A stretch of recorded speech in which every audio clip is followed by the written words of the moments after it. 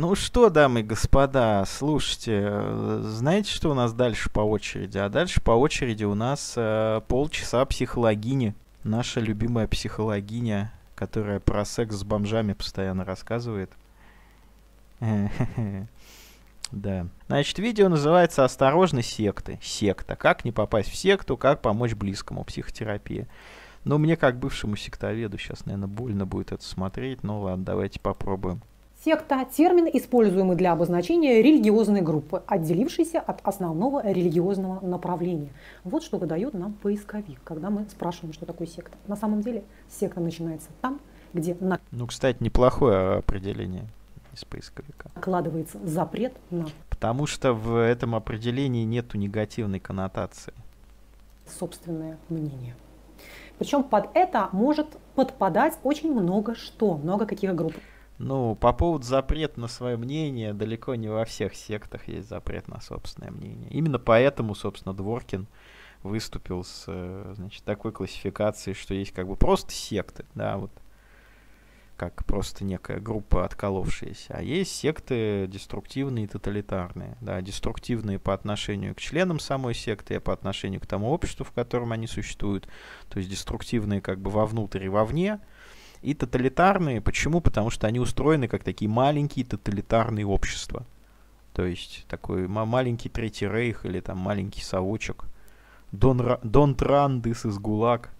Вот, как правило, какие-то такие порядки там царят. Тогда это действительно деструктивная тоталитарная секта.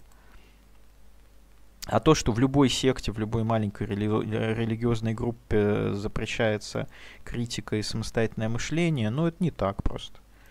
Есть разные секты. Организации. Вплоть до целого государства. Такая а, страна, как Северная Корея или Советский Союз, чем не секта. Да? Но... Ну, есть государства типа Саудовской Аравии или э, Катара, которые свое видение ислама распространяют за, далеко за пределы своей страны, там, где их видение ислама не является традиционным и не, со, не соотносится с э, традиционным исламом в этих самых других странах.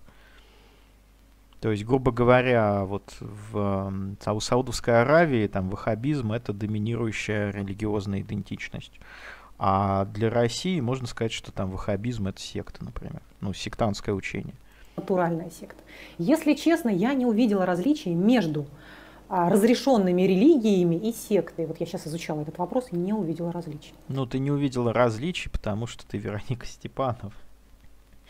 Так-то различий очень много на самом деле, потому что есть такое понятие, как культурообразующий статус, то есть, грубо говоря, традиционная религия, она в значительной степени сформировала культуру того региона, где она пребывает на протяжении там, большого количества столетий. То есть там культура, например, Италии, она в значительной степени сформирована э, католицизмом и, кстати, римским язычеством, которое существовало в Италии до этого. Да, именно поэтому культура Италии выглядит так, а не иначе. А вот если в Италию приходит какая-нибудь секта да, религиозная, то эта э, религиозная секта, она, в общем-то, не связана с культурой Италии, да, с культурой этой страны в той же степени, как вот э, традиционные религиозные идентичности, которые там до этого были распространены на протяжении столетий. Да. Ну, то же самое можно сказать не про Италию, а про любую вообще другую страну, любое другое общество. Да. То есть там культура в России в значительной степени сформирована православием, например. Да. Именно поэтому в России такая архитектура, такая музыка там и бла-бла-бла-бла-бла потому что там из православной Греции, из, православ... из православной Византии приглашали учителей, там философов, архитекторов, там, да, и они вот это все вот создавали в конечном итоге. А если вот в Россию приходит какая-нибудь секта там, да, извне, с другой территории, то, соответственно, вот она несколько, можно сказать, культурно неадекватна тем культурным реалиям, которые сложа, складывались на протяжении там, столетий. Вот, поэтому разница есть. Ну или там, допустим, как религиоведы шутят, да, что, как говорится, в чем разница между религией и сектой? В количестве недвижимости. То есть традиционные религиозные организации, они обладают большим количеством активов и недвижимости, чем какие-нибудь секты. Вот, хотя есть очень богатые секты, да, есть, например, там мормоны, саентологи, кришнаиты, свидетели Иеговы, очень богатые религиозные организации. Там пятидесятники в Южной Корее. Разве что не в такой тоталитарной... До этого церковь Муна, церковь объединения. Это очень богатые просто религиозные организации, которые колоссальное количество денежных средств сосредоточили в своих руках. Тоталитарности, БДСМности и рэкете, а, они не нуждаются в этом, потому что... Не, ну БДСМность это подразумевает добровольность, как бы, да. Да, ну, те религии, как... В, в секте, как правило, нету стоп-слова. в религии... Чем религия отличается от БДСМ? Тем, что в религии отсутствует стоп-слово. Я прям сегодня не перестаю креативить. Которые разрешены, они не нуждаются, потому что они поддерживаются государством.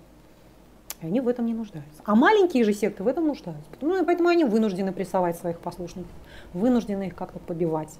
Или те же самые монастыри. Вот чем они от сект? Ну да, но есть маленькие религиозные группы, которые никого не побивают и никого не угнетают. То есть всякие там евангелисты, какие-нибудь христиане. Секта, секта. Ну да, но они не устроены как тоталитарное общество отличаются, я вообще не понимаю. Вот кто знает, может, попытайтесь мне как-то написать в комментариях, объяснить. Хотя от них регулярно откалываются всякие подсекты, где действительно все это происходит.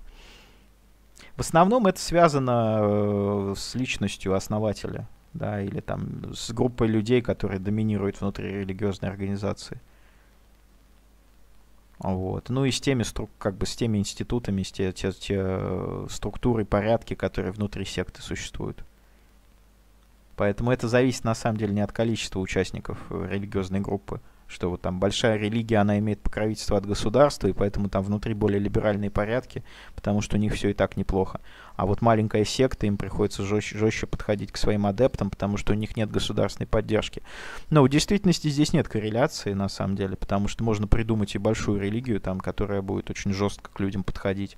Ну, например, католическая церковь в средние века да, вполне себе мейнстримная религиозная группа, но тем не менее там были очень жесткие порядки, людей там сжигали, пытали каленым железом, топили в воде и прочее, прочее, прочее. Поэтому здесь, конечно, Степанова, она просто свои какие-то вещи выдумывает, то есть она не имеет образования в этой области, и она просто вот, что у нее в голове какая-то мысль рождается, язык во рту дергается, и в итоге вот мы все это слышим, весь этот поток сознания. Чем отличается монастырь от обычной секты? Я также продаю свою квартиру, я также прощаюсь со своей семьей, отказываюсь от всего мирского и становлюсь... Ну, тем и отличается, что монастырь, он генеалогически связан с культурой, которая сформиров... сформирована на этой территории на протяжении столетий, а секта не связана. Все. Вот, вот как бы как-то так.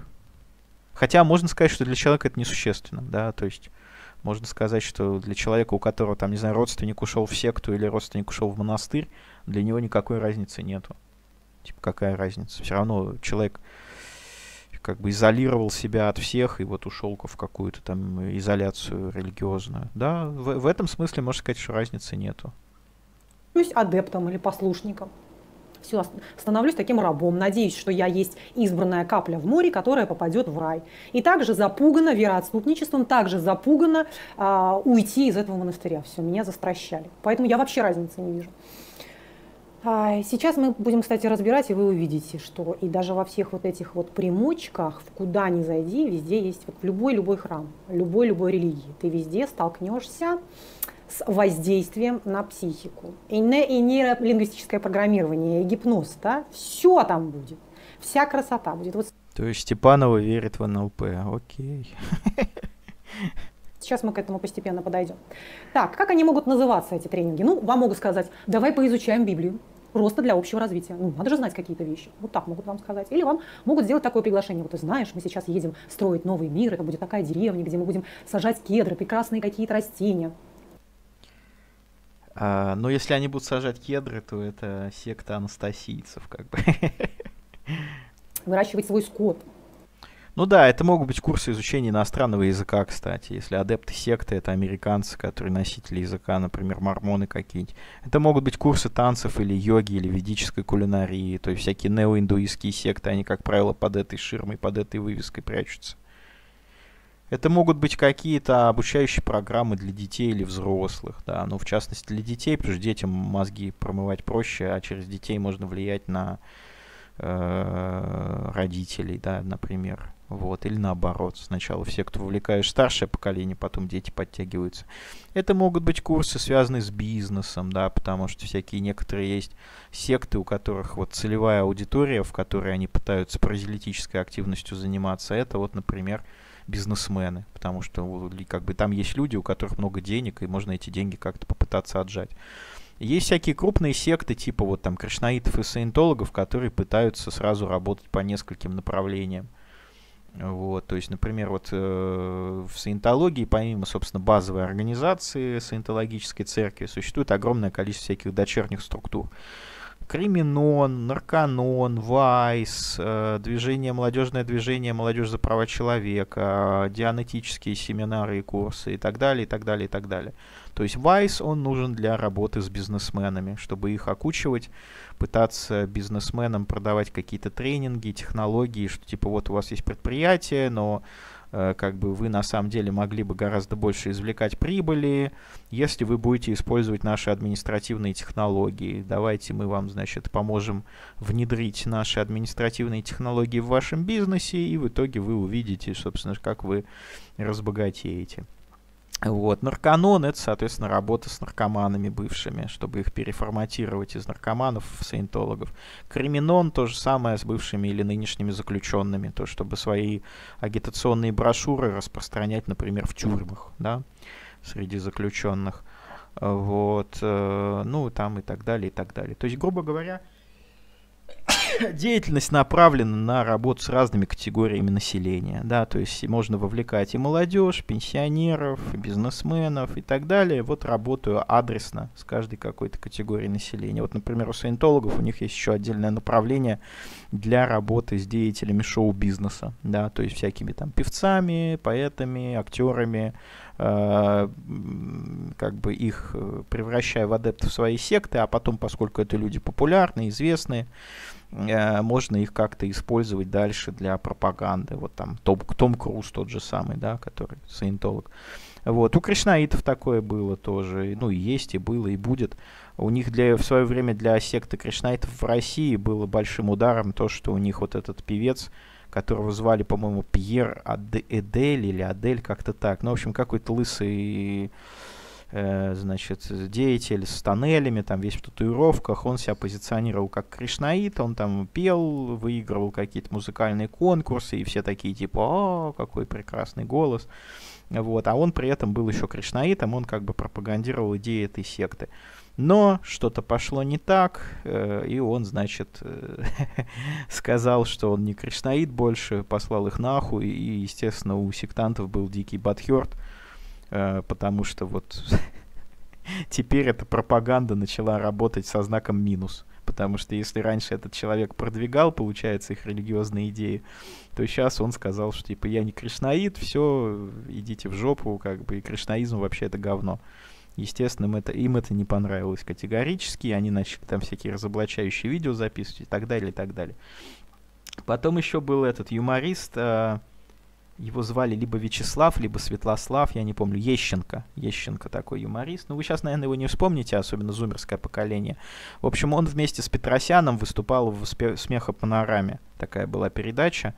Вот. И он был кришнаитом, таким практикующим, то есть он там участвовал во всех их мероприятиях, тусовках и, соответственно, тоже пытался, пользуясь своей популярностью, там как-то это все продвигать. Э, значит, Петросяна как-то вовлечь тоже, чтобы Петросян стал кришнаитом. Очень смешная хуйня, но вот действительно так это было. Но вот потом, в силу каких-то причин, через много-много лет он, э, значит, вышел из секты, сказал, что типа все, я как бы, ребята, я не с вами, идите в жопу. Тоже, естественно, опять-таки трагедия. Э, значит, когда такие известные люди, они покидают вот эту религиозную организацию. Так что да, могут быть разные способы вовлечь в секту, да, работа по разным категориям населения, да, с молодежью, с пенсионерами, вот, потому бабушка, божий одуванчик, если ее в секту вовлечь, она может как бы перед тем, как крякнет квартиру, завещать секте, да, что в принципе хорошо. Вот, или молодежь, да, вот молодой человек, у него ничего нет, ни денег, ничего, но у него есть много энергии, да, он вот активный, молодой, пассионарный, и, соответственно, секта его использует, просто выжимает как лимон. Все, всю вот эту его энергию, всю активность, все это в секту уходит в конечном итоге давай, давай, уходи от этой грязной экологии из этого города к нам, в наше поселение. Вот такого плана могут быть. Или это какие-то могут быть якобы... Да, жрать древесную кору. Ну, нет, есть всякие вот эти поселения во множестве. То есть в России есть секта анастасийцев, есть всякие неоязычники, старообрядцы, всякие, которые в леса уходят. Есть секта Виссариона, община последнего завета, который там в, в, в Красноярском крае под Минусинском, у них там свой город, э, значит, в лесу так что да, так, таких групп много. Там и в Америке, и в Европе, там всякие религиозные коммуны по всему миру. Тренинги. В Индии очень распространено это. Философские учения, различные э, йога-центры и так далее и тому подобное. Вот как, как угодно это. Но вам напрямую никогда не скажут, ты не хочешь ли ты вступить в нашу секту? Никто вам такого не скажет. Начнут вот так голову дурить. Давайте посмотрим категорию людей, так называемую группу риска. Кто туда у нас будет с вами попадать-то? Истерички истерички, очень внушаемые люди. Кто смотрел мои лекции да, по поводу истерических невроз, стероидной психопатии, вот можете посмотреть. Это очень сильно внушаемые люди. Все очень впечатлительные, очень мнительные. Э, люди, зачастую не имеющие собственного мнения. Вот это ключевое, пожалуй. Они как бы берут нечто чужое. И спрашивают, почему нельзя есть печенье кришнаитов. Не, ну как нельзя? Можно, но там в составе коровий навоз, правда, но присваивают это себе за зомбированность. Вот с таким человеком часто говоришь, и ты слышишь за зомбированность, и ты понимаешь, что он тебя вообще не слышит. Он тебя не слышит. Все. Вот это как речитатив такой идет, вот он заученные фразы говорит, говорит, говорит, говорит. Причем ты задаешь ему какой-то совершенно простой вопрос, который имеет простой ответ. Но нет, он значит, начинает изворачиваться. Более того, вот религиозные верующие люди, люди, которые состоят в секте, или вообще человек, который имеет некое какое-то серьезное убеждение, и когда идет какая, какая-то опаска того, что он может изменить это убеждение – что он может подумать и переоценить эту ситуацию, он начинает бросаться на вас. Как вот когда вот, вот крысу в угол загоняешь, она начинает бросаться на вас. Все, и казалось бы, спокойно говорили, вели беседу какую-то. Но а, вдруг в какой-то момент вот этот ангельский человек, который только что говорил про Библию, про Бога, вдруг превращается в агрессивного демона и начинает на вас нападать. Хотя вы просто задаете ему вопросы. Так. Ну, вопрос, например, такой. Это вера, правильно? Это же не знание. Да, это вера. Это вера. То есть у тебя был выбор, верить или не верить. Ну, что значит у меня был выбор? Ну, что, а к чему это, к чему этот разговор, Вероника, к чему это все? Зачем ты сейчас так это, зачем ты это говоришь? И все, все, человек покрывается пятнами, начинает трястись. Я задаю вопрос, ну как? Это же вера. То есть ты мог выбрать верить и выбрать не верить. Или выбрать сомневаться, допустим. То есть ты мог сделать любой выбор, но ты выбрал верить. Для чего ты выбрал верить? Я не выбирала верить, я не выбирала верить, это есть, это есть. И все, диалог дальше невозможен. Все, вот так вот ведут себя люди с такими сильными какими-то... Окей. Okay. Говорить очень трудно с ними. Вообще философствовать. Я просто очень люблю философствовать, очень люблю критично мыслить, очень люблю видеть доказательства какие-то а доказательства нет, все. Ну вот там написано, где-то там написано, каждый трактует у кого где что написано, кем написано, когда на ахинея написано. Спрашивают, зачем они жрут говно? Ну, потому что с их точки зрения любая жидкость, которая исходит от коровы, она священна. То есть не только молоко, но любые выделения вообще коровьи, они священны. У них был там один святой кришнаитский, который питался только коровьим навозом всю свою жизнь.